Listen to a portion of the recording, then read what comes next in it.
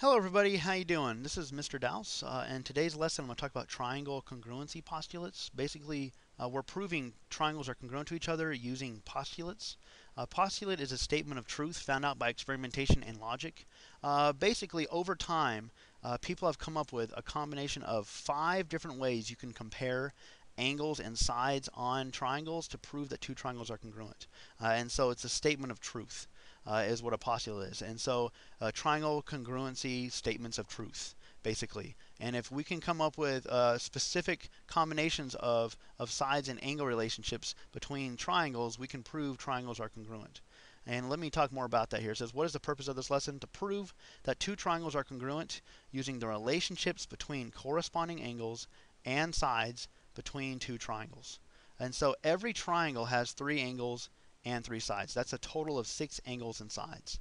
Uh, but to compare two triangles and see if they're congruent to each other, uh, you only need to have a combination of three corresponding angles and sides to prove two triangles are congruent. So we went from a total of six angles and sides, but we only need uh, a specific combination of three angles and sides to prove two triangles are congruent. Uh, and the first one is the side, side, side postulate. Uh, we compare the three sides of one triangle to the three sides of another triangle to see if triangles are congruent. Uh, and we can abbreviate it as SSS uh, using the letters of side, side, side, the first letters. And so uh, you might, just for a shorthand, write SSS instead of this side, side, side postulate. Uh, another uh, triangle congruency postulate we have is the side angle side postulate, otherwise abbreviated as SAS. We're comparing two sides in an angle of one triangle to two sides in an angle of another triangle to see if they're congruent. Uh, I'm going to go in more detail on these on, on the next few slides. Uh, another example of a triangle congruency postulate is an angle side angle postulate. Angle side angle, abbreviated as ASA.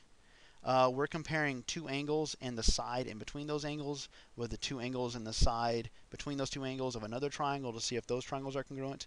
The angle angle side or abbreviated as AAS, we're still comparing only a combination of two angles and sides of one triangle to two angles and another side of another triangle. So again, all of these, we're comparing a combination of three angles and sides to prove if two triangles are congruent.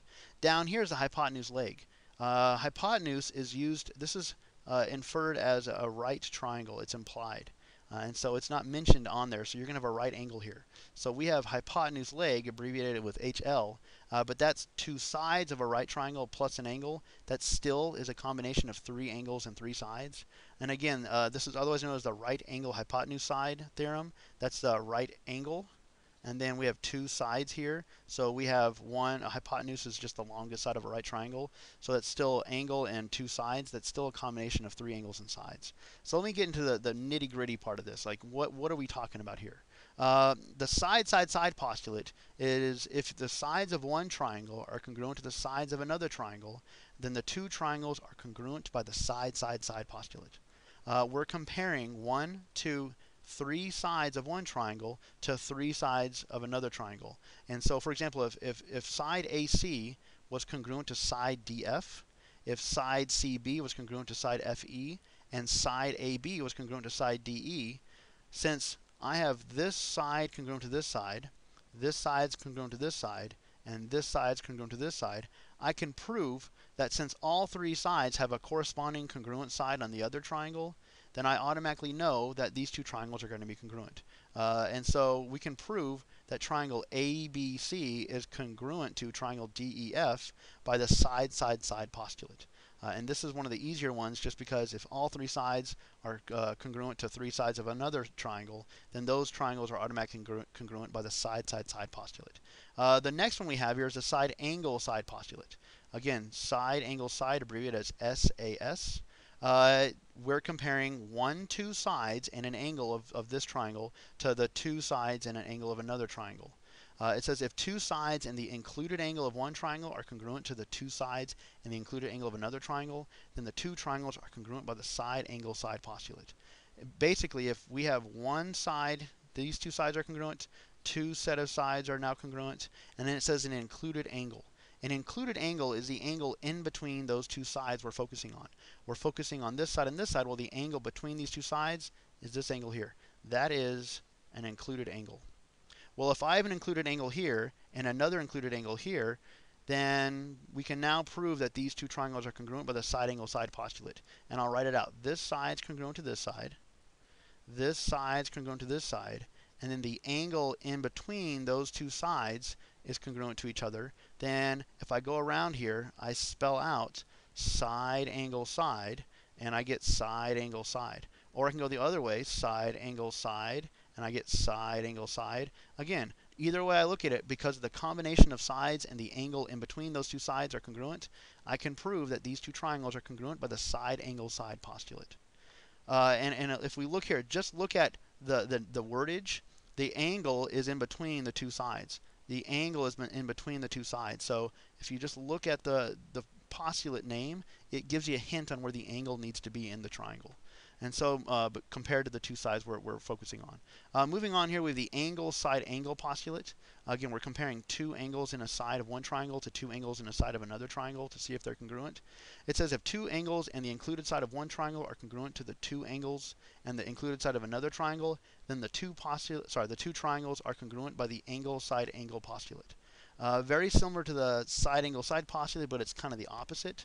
We're comparing two congruent angles and the included side here. So now uh, we're looking for the, the side that's in between these two angles. If this side uh, is congruent to this side, uh, these are two examples of included sides. Uh, on the previous one, included angle was between the two sides that we're focusing on. Included side is between the two angles that we're focusing on. So this one is talking about included angle. That's in between the two sides. And included side is the side between the two angles. And if I have this side is congruent to this side, and let me let me just write this out with letters. So this angle is congruent. Whoops. This angle is congruent to this angle. This angle is congruent to this angle, and the included side on these two triangles are congruent, then I can prove these two triangles are, are, are congruent by the uh, angle side angle postulate. And if we look here, if I go one way here, angle side angle, this one also spells out angle side angle. Or if I go the other direction, I still get angle side angle. Over here, I still get angle side angle. And so the side has to be between the two angles. If this side is congruent to between these two angles to another triangle, uh, then we have the angle side angle postulate. And I can prove in this case that these two triangles are congruent by the angle side angle postulate. Uh, this angle angle side postulate is sometimes confusing with the angle side angle postulate. Uh, let me talk about the difference of these on another slide. Let me just talk about this one right now. This one says angle angle side postulate, abbreviated as angle angle side. We're still comparing two angles in a side here, but the side is in a different area of the triangle versus the angle side angle postulate. This one says if two angles in a non-included side of one triangle are congruent to two angles in a non-included side of another triangle, then the two triangles are congruent by the angle angle side postulate. I'm going to pick the same angles to be congruent to each other as I did on uh, the last slide. Um, and so angle A and D are congruent, angle C and F are congruent, but we're looking for a non-included side. A non-included side is a side that's not in between those two angles uh, that we are talking about. So let's say AB and DE are congruent. Uh, so this side AB is not the included side because it's not in between the two angles we're focusing on. And if I spell it out here, this uh, sorry, this angle is congruent to this angle, this angle is congruent to this angle, this side is congruent to this side. And if I look at it, if I start at the first A and I go around to the other angle, and then I go to the side here, it spells out angle, angle, side. Uh, versus the last one, the side was between the two angles. This one, the side is not between the two angles. Uh, if I go the other direction, though, I get SAA. Uh, if you, you want to look at the lettering here, if you have two A's and an S, you want to automatically switch it around and make it match up with the angle angle side. Uh, and so there's no side angle angle postulate. It's it's we flip it around and call it the angle angle side postulate. But I can go angle angle side here. I can go angle angle side here. And since AA, AA, and SS, I get AAS, AAS. Then I can prove these two triangles are congruent by the angle angle side postulate. Uh, now let's briefly talk about the differences here. Uh, on the slide, two slides ago, we focused on these angles, and but in the side in between these two angles. On the angle angle side, we're focusing on the same angles, but the side is not included in between uh, these two angles. And so this one here, ASA, this one here is AAS. The side is not in between these two angles. And so there is a subtle difference here, so be careful. The last one we have here is the hypotenuse leg, uh, otherwise known as the right angle hypotenuse side postulate. It says if two right angles have congruent hypotenuses and congruent corresponding sides, then the two triangles are congruent by the hypotenuse leg or the uh, right angle hypotenuse side postulate. And so we automatically have to have two right triangles. And so I have a right angle here and a right angle here. So I know that this angle matches up with this angle here. And then we're talking about hypotenuse here. So the hypotenuse is the longest side on the triangles, on a right triangle. And then let's say this side here is congruent to this side here. Uh, on a triangle, a right triangle, uh, you call the longest side hypotenuse, and you call the other two sides that are not the hypotenuse legs. And so that's how they get the hypotenuse leg. If I have a right triangle that has, so we know we have this angle is congruent to this angle, that has uh, the hypotenuses are the same length, and one of the two sides is also congruent to each other, then we can call this uh, these two triangles congruent to each other by the uh, hypotenuse leg postulate. Uh, I could have said, I could have also said, what if this side was congruent to this side? Well, if that's true, and I have these all I have two right angles, so these angles are congruent to each other. The hypotenuses are congruent to each other, and I have two sides, or these are the legs actually are congruent to each other. Then it's going to be proved, you can prove that these triangles are congruent by the hypotenuse leg theorem. This is kind of funny. If you look around here, you actually spell out ASS.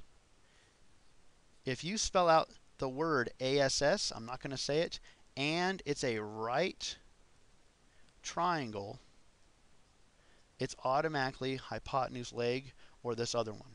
If it is not a right triangle, you cannot say it's hypotenuse leg. So you need to have a right triangle that has a hypotenuses are congruent to each other and one set of sides are congruent to each other for this to be uh, proved by the hypotenuse leg postulate. If it's not a right triangle, it is not going to be proved. You cannot prove that two, the two triangles are congruent by the hypotenuse leg uh, postulate. Now, sometimes people get confused by the angle, angle, angle postulate. This is actually not a postulate. It says you cannot prove two triangles are congruent to each other if you only compare their angle relationships.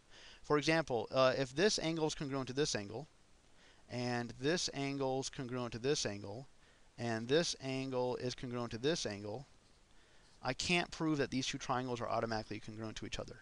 And, and let me ex explain why. Uh, I can take this triangle here and I can make it bigger. This angle A and D are still congruent to each other. This angle B and E are still congruent to each other. And this angle C and F are congruent to each other. But the side lengths are not the same. So if you ever have three angles are congruent to each other, but you don't have any, inf in, any information about the side lengths, you cannot prove two triangles are congruent to each other. This is oftentimes one that people, my students, get confused with, and they'll say, hey, I can prove two triangles are congruent by the angle, angle, angle postulate. You can't do that. You cannot do that when we're talking about congruent triangles. Anyways, I'm going to have practice problems on my website, doucehouse.com. Look at the second six weeks worth of videos. Uh, there should be some practice problems here, which will go over this in more detail to help you understand this even more. Hopefully this helps you out. Have a good day. Bye-bye.